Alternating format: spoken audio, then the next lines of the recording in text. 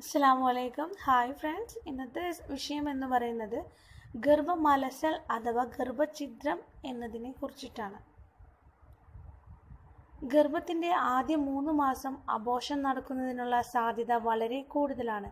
അതുകൊണ്ട് തന്നെയാണ് ഡോക്ടർമാർ ആദ്യത്തെ മൂന്ന് മാസം വളരെയധികം ശ്രദ്ധിക്കണമെന്ന് പറയുന്നത്. സ്വാഭാവിക അബോഷനുള്ള സാധ്യത വളരെ കൂടുതലാണ് എന്നത് തന്നെയാണ് ഇതിന്റെ പ്രധാന കാരണം. മിക്ക സ്ത്രീകളിലും ഗർഭത്തിന്റെ ആദ്യഘട്ടത്തിൽ തന്നെ യാതൊരു കാരണവുമില്ലാതെ ഗർഭം അബോഷനായി പോകുന്നു. ഗർഭത്തിന്റെ ആദ്യഘട്ടത്തിൽ എന്തൊക്കെ കാരണങ്ങൾ കൊണ്ടാണ് അബോഷൻ സംഭവിക്കുന്നതെന്ന് നമുക്ക് നോക്കിയാലോ. സ്വാഭാവിക അബോഷനുള്ള സാധ്യത ആദ്യ മൂന്ന് മാസത്തിനുള്ളിൽ വളരെ കൂടുതലാണ്. സ്ത്രീകളുടെ ശാരീരിക അവസ്ഥകളും സെർവിക്കൽ സംബന്ധമായ പ്രശ്നങ്ങളും അബോഷന് കാരണമായേക്കാം. ഗർഭകാലത്ത് സ്ത്രീകളിൽ പ്രമേഹം വർദ്ധിക്കുന്നതിനുള്ള സാധ്യതയുണ്ട്. ഇത് അബോഷനുള്ള സാധ്യത വളരെ കൂടുതലാണ്. തൈറോയിഡ് പ്രശ്നങ്ങളുള്ള സ്ത്രീകളിലും ആദ്യ മാസങ്ങളിൽ തന്നെ അബോഷനുള്ള സാധ്യത വളരെ കൂടുതലാണ്. അതുപോലെ യൂട്രസിന്റെ ആരോഗ്യമില്ലായ്മയും പ്രശ്നക്കാരനാണ്. പ്രായം കൂടി ഗർഭം ധരിക്കുന്നവരിൽ പലപ്പോഴും അണ്ടഗുണം കുറയുന്നതിനുള്ള സാധ്യത വളരെ കൂടുതലാണ്. ഇവരിലും അബോഷൻ സംഭവിക്കുന്നു. എന്തെങ്കിലും തരത്തിലുള്ള ക്രോമസോം തകരാറുകൾ ഉണ്ടെങ്കിൽ അത് ക്രോമസോം പ്രതിസന്ധികൾ അബോഷന് കാരണമാകാം. കുഞ്ഞുണ്ടാവാൻ ആഗ്രഹിക്കുന്ന അല്ലെങ്കിൽ ഗർഭിണിയായ ഓരോ സ്ത്രീയും അബോഷൻ എന്താണെന്ന് അറിഞ്ഞിരിക്കണം. അതുണ്ടാവാനുള്ള സാധ്യതയും അതുണ്ടാവാതിരിക്കാൻ എന്തൊക്കെ മുൻകരുതലുകൾ എടുക്കണം എന്നതും അറിഞ്ഞിരിക്കണം. അറിവ് എന്നും എപ്പോഴും ആയുധം തന്നെ. ഒരു ആരോഗ്യപരമായ ഗർഭധാരണത്തിന് ഇതെല്ലാം കൂടിയേ തീരൂ. എങ്കിൽ മാത്രമേ അത്തരം ബുദ്ധിമുട്ടുകൾ ഉണ്ടാകാതെ സൂക്ഷിക്കാൻ കഴിയുകയുള്ളൂ. മിക്കവാറും അബോഷൻ ഉണ്ടാകുന്നത് ഗർഭസ്ഥ ശിശു പെട്ടെന്ന് മരിച്ചു പോകുന്നത് കൊണ്ടാണ്. ഹോർമോൺ പ്രശ്നങ്ങൾ പ്രതിരോധ വ്യവസ്ഥയിലെ പ്രശ്നങ്ങൾ റേഡിയേഷൻ അമ്മക്കുണ്ടാവുന്ന അസുഖങ്ങൾ എന്നിവ അബോഷന്റെ ചില കാരണങ്ങളാണ്. പരക്കെയുള്ള വിശ്വാസം പോലെ വ്യാ വ്യായാമമോ ലൈംഗിക ബന്ധമോ ഗർഭധാരണത്തിന്റെ ആദ്യ നാളുകളിൽ ഗർഭഛിദ്രം ഉണ്ടാക്കില്ല. മുപ്പത്തിയഞ്ച് വയസ്സിനു മേൽ പ്രായമുള്ളവരിൽ നിന്നും ഗർഭഛിദ്രത്തിനുള്ള സാധ്യത പ്രായം കുറഞ്ഞ സ്ത്രീകളേക്കാൾ കൂടുതലാണ്. തുടരെ തുടരെ ഗർഭഛിദ്രങ്ങൾ ഉണ്ടാക്കുന്ന സ്ത്രീകൾക്ക് ഗർഭം ധരിക്കാൻ ബുദ്ധിമുട്ടാണ്. മിക്കവാറും എല്ലാ ഗർഭഛിദ്രങ്ങളും പതിമൂന്ന് ആഴ്ചക്ക് മുമ്പുണ്ടാകും. ഗർഭഛിദ്രം ഏത് വിധത്തിലുള്ളതായാലും സ്ത്രീകൾക്ക് ഇത് കടുത്ത ശാരീരിക മാനസിക ആഘാതം ഉണ്ടാക്കും എന്നുള്ളത് തർക്കമറ്റ സംഗതിയാണ്. അതുകൊണ്ട് ശാരീരിക മാനസിക ആരോഗ്യം വീണ്ടെടുക്കാൻ നല്ല വിശ്രമം നല്ല ഭക്ഷണം കൂടാതെ സ്വാന്തന പരി പരിചരണം എന്നിവ അത്യാവശ്യമാണ്. ഗർഭം അലസിപ്പോകുന്നത് വഴിയുള്ള ഗർഭനഷ്ടം സാധാരണമാണ്. പത്ത് മുതൽ ഇരുപത്തിയഞ്ച് ശതമാനം വരെ ഗർഭങ്ങൾ അലസിപ്പോകുന്നു എന്ന് തെളിവുകൾ. ഇതിൽ തന്നെ അമ്പത് മുതൽ എഴുപത്തഞ്ച് ശതമാനം വരെ രാസഗർഭങ്ങളാണ്. രാസഗർഭം എന്നാൽ ഭ്രൂണം ഉണ്ടായ ഉടനെ അടുത്ത ആർത്തവ സമയമാകുമ്പോൾ തന്നെ അത് അലസിപ്പോകുന്നതാണ്. അതായത് ഗർഭിണി ആയിരുന്നു എന്ന് അറിയുന്നതിന് മുമ്പ് തന്നെ അത് നഷ്ടപ്പെടുന്ന അവസ്ഥ. മിക്കവാറും ഗർഭമലസൽ സംഭവിക്കാറുള്ളത് ആദ്യത്തെ പതിമൂന്ന് ആഴ്ചക്കുള്ളിലാണ്. മിക്കവാറും സന്ദർഭങ്ങളിൽ ഇതിനൊരു പ്രത്യേക കാരണം പറയാൻ കഴിയില്ല. എന്നാൽ ഒരു ഗർഭം നഷ്ടമാകുമ്പോൾ അതിന്റെ കാരണം അറിയാൻ ആഗ്രഹിക്കുന്നത് സ്വാഭാവികം. ഒപ്പം ഭാവിയിൽ ആ മാനസികാഘാതം കുറയ്ക്കാൻ എന്ത് ചെയ്യണം എന്നറിയാനും. ഒരു തവണ ഗർഭമലസൽ ഉണ്ടായാൽ നമ്മൾ സാധാരണഗതിയിൽ കാരണം അന്വേഷിക്കാറില്ല. എന്നാൽ മൂന്നോ അതിലേറെയോ പെട്ടെന്നുള്ള അലസൽ സംഭവിച്ചാൽ അതിന്റെ വൈദ്യശാസ്ത്ര കാരണങ്ങൾ മനസ്സിലാക്കണം. ആവർത്തന ഗർഭമലസലുണ്ടായാൽ ഗർഭഛിദ്രം നടക്കുമ്പോൾ മനം പുരട്ടൽ കടുത്ത വയറുവേദന കഠിനമായ രക്തസ്രാവം എന്നിവയുണ്ടാകും.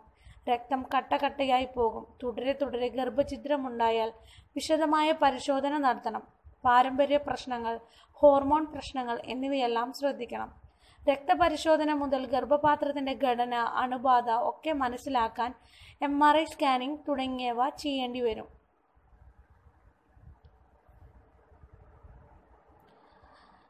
ഗർഭത്തിന്റെ ഏത് അവസ്ഥയിലാണ് ഗർഭഛിദ്രം നടക്കുന്നത് എന്നതിനെ ആശ്രയിച്ച് ഗർഭഛിദ്രത്തിന്റെ പലതായി തിരിച്ചിട്ടുണ്ട്. വ്യത്യസ്ത ഗർഭഛിദ്രങ്ങൾക്ക് വ്യത്യസ്ത ലക്ഷണങ്ങളും വ്യത്യസ്ത ചികിത്സയുമാണുള്ളത്. അതുകൊണ്ട് ഗർഭഛിദ്രം ഏത് വിഭാഗത്തിൽപ്പെടുന്നു എന്നുള്ളത് തീർച്ചപ്പെടുത്തേണ്ടത് വളരെ അത്യാവശ്യമാണ്. ഗർഭത്തിന്റെ ആദ്യ നാളുകളിൽ തന്നെ ഭ്രൂണം നശിപ്പിക്കപ്പെടുന്നതിനെയാണ് കെമിക്കൽ പ്രഗ്നൻസി എന്ന് പറയുന്നത്. ക്രോമസോമുകളുടെ അസ്വാഭാവികത്വം കൊണ്ടാണ് കെമിക്കൽ പ്രഗ്നൻസി ഉണ്ടാകുന്നത്. ഇതിൽ അണ്ടം ബീജവുമായി സംയോജിക്കുന്നു. പക്ഷേ അധികം താമസിയാതെ സംയോജിച്ച അണ്ടം ക്രോമസോമുകളുടെ അസ്വാഭാവികത്വം കൊണ്ട് നശിച്ചു പോകുന്നു. ഇതിന്റെ പ്രധാന ലക്ഷണം രക്തസ്രാവമാണ്. സാധാരണ പിരീഡ്സിൽ ഉണ്ടാകുന്നതിൽ കൂടുതൽ രക്തസ്രാവം ഇതിലുണ്ടാകുന്നു. ബ്ലൈറ്റഡ് ഓവം എന്നറിയപ്പെടുന്ന ഗർഭഛിദ്രം ഗർഭത്തിന്റെ ആദ്യ നാളുകളിൽ സംഭവിക്കുന്നതാണ്. ഇതിൽ അണ്ടവും ബീജവും സംയോജിച്ച് അണ്ടം ഗർഭപാത്രത്തിൽ എത്തിച്ചേർന്ന് വളരാൻ ആരംഭിക്കുന്നു. പക്ഷേ പിന്നീട് ഇതിന്റെ വളർച്ച നിന്നു പോകുന്നു. അൾട്രാസൗണ്ടിൽ ഡോക്ടർ ജീവനില്ലാത്ത ഭ്രൂണത്തിനെ തിരിച്ചറിയുകയും ഉടനടി ഡിയാൻസി ചെയ്യാൻ നിർദ്ദേശിക്കുകയും ചെയ്യുന്നു. ഗർഭപാത്രം പൂർണമായി വൃത്തിയാക്കേണ്ടത് വളരെ അത്യാവശ്യമാണ്. അല്ലെങ്കിൽ അമ്മയുടെ ജീവന് തന്നെ ആപത്തായേക്കാം. മിസ്ഡ് മിസ് കാരേജ് എന്ന ഗർഭഛിദ്രത്തിൽ ഭ്രൂണം ആദ്യഘട്ടത്തിൽ തന്നെ മരിച്ചു പോകുന്നു. പക്ഷെ അത് സ്ത്രീയുടെ ഗർഭപാത്രത്തിൽ തന്നെ തുടരുന്നു. അങ്ങനെ സ്ത്രീ ഗർഭത്തിന്റെ എല്ലാ ലക്ഷണങ്ങളും തുടർന്ന് അനുഭവിക്കുന്നു. വയറുവേദനയും യോനിയിൽ കൂടിയുള്ള സ്രാവങ്ങളും സ്രവങ്ങളും മാത്രമാണ് ഇതിന്റെ ലക്ഷണം. ഇവിടെയും ഡി എൻ സി നിർബന്ധമാണ്. ത്രട്ടാറ്റ് മിസ്കാരേജിന്റെ പ്രധാന ലക്ഷണം അടഞ്ഞ ഗർഭാശയ മുഖമാണ്. ഇത് തിരിച്ചറിഞ്ഞാലുടൻ ഡോക്ടർ ഗർഭിണിക്ക് കർശന ആരോഗ്യ നിയന്ത്രണങ്ങൾ ഏർപ്പെടുത്തും. ഈ നിയന്ത്രണങ്ങൾ ഗർഭകാലം മുഴുവൻ നീണ്ടു നിൽക്കുകയും വയറുവേദനയും ഉണ്ടാകും. ആദ്യത്തെ ഇരുപതാഴ്ചക്കുള്ളിലാണ് ഇത് സംഭവിക്കുക. പക്ഷേ ഇതിന്റെ പ്രധാന ആശ്വാസം പലപ്പോഴും ഇതിൽ ഗർഭഛിദ്രം സംഭവിക്കാറില്ല എന്നുള്ളതാണ്. കർശനമായ ആരോഗ്യ മേൽനോട്ടത്തിലൂടെയും നിയന്ത്രണങ്ങളിലൂടെയും ഈ അവസ്ഥ സ്ത്രീകൾക്ക് മറികടക്കാം. ഇന്നെവിറ്റബിൾ അല്ലെങ്കിൽ ഒഴിവാകാനാവാത്ത ഗർഭഛിദ്രത്തിൽ രക്തസ്രാവവും വയറുവേദനയും ഗർഭത്തിന്റെ ആദ്യ നാളുകളിൽ അനുഭവപ്പെടുന്നു. കൂടാതെ ഗർഭാശയ നാളിയുടെ സങ്കോചങ്ങൾ ആരംഭിക്കുന്നു. പ്രസവത്തിന്റെതായ ഈ ലക്ഷണത്തിൽ നിന്നും ശരീരം ഭ്രൂണത്തെ ഒഴിവാക്കുന്നു. പൂർണമാകാത്ത ഗർഭഛിദ്രത്തിൽ കടുത്ത രക്തസ്രാവവും കടുത്ത വയറുവേദനയും അനുഭവപ്പെടുന്നു. ഗർഭാശയ മുഖം പ്രസവത്തിലെന്ന പോലെ തുറക്കുകയും ഭ്രൂണത്തിന്റെ ഏതാനും ഭാഗം പുറന്തള്ളപ്പെടുകയും ചെയ്യുന്നു. അൾട്രാസൗണ്ട് ടെസ്റ്റിൽ ഗർഭപാത്രത്തിൽ ചില അവശിഷ്ടങ്ങൾ ഉണ്ടെന്ന് കാണുന്നു. ഡി എൻ സി കൊണ്ട് ഒഴിച്ചു കളയണം ഇത്. കംപ്ലീറ്റ് അല്ലെങ്കിൽ പൂർണമായ ഗർഭചിത്രത്തിൽ മുഴുവൻ ഭ്രൂണവും ശരീരത്തിൽ നിന്ന് പുറന്തള്ളപ്പെടും. കടുത്ത വയറുവേദനയും കനത്ത രക്തസ്രാവവും ഉണ്ടാകും. ഭ്രൂണം പുറന്തള്ളപ്പെടുന്നതോടെ വേദനയും മറ്റ് അസ്വസ്ഥതകളും ശമിക്കും. പിന്നീട് നടത്തുന്ന സ്കാനിങ്ങിൽ ഗർഭപാത്രം പൂർണമായി വൃത്തിയായതായി കാണാൻ സാധിക്കും. ഗർഭം എങ്ങനെ സംഭവിക്കുന്നു? അതിനുള്ള സാധ്യതകൾ എങ്ങനെ കുറക്കാം? അതിനെക്കുറിച്ച് നമുക്ക് നോക്കിയാലോ. ഒന്നാമത് പറയുന്നത് ക്രോമസോമുകളുടെ അപാകതകളാണ്. ആദ്യ മൂന്ന് മാസക്കാലത്ത് നടത്തു നടക്കുന്ന അറുപത് ശതമാനം ഗർഭചിത്രങ്ങളുടെയും ഏറ്റവും പ്രധാന കാരണം അതാണ്.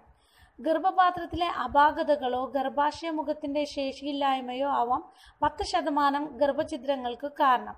ഇത് ശാസ്ത്രക്രിയ വഴി പരിഹരിക്കാവുന്നതാണ്. ഇങ്ങനെയാണ് രണ്ട് കാര്യങ്ങൾ മൂന്നാമത്തെ എന്താണെന്ന് നോക്കാം. പ്രതിരോധശേഷിയിലെ ക്രമക്കേടുകൾ. ആന്റി ഫോസ്ഫോലിപ്പിഡ് എന്ന രോഗപ്രതിരോധ ഘടകം ഒരാളുടെ സ്വന്തം ഭ്രൂണത്തെ അന്യവസ്തു എന്ന് കരുതി ആക്രമിക്കുന്നു. അങ്ങനെ സംഭവിക്കാം. അടുത്തത് പറയണത് അനിയന്ത്രിതമായ ഹൈപ്പർ ഹൈപ്പോ തൈറോയ്ഡ് അല്ലെങ്കിൽ പ്രമേഹം. ഇത് മരുന്നും ഇത് നമുക്ക് മരുന്നും ജീവിതശൈലിയും മാറ്റങ്ങളും കൊണ്ട് മാറ്റിയെടുക്കാവുന്നേ ഉള്ളൂ.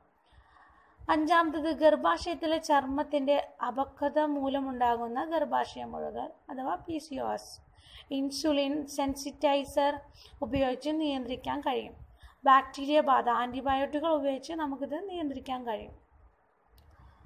ജീവിതശൈലിയുമായി ബന്ധപ്പെട്ട കാരണങ്ങൾ പുകവലി മദ്യപാനം മയക്കുമരുന്നുകൾ മറ്റ് വിഷവസ്തുക്കൾ ഗർഭധാരണത്തിന് മുമ്പ് തന്നെ ഇത്തരം ശീലങ്ങളെല്ലാം നമ്മൾ ഒഴിവാക്കിവിടുക.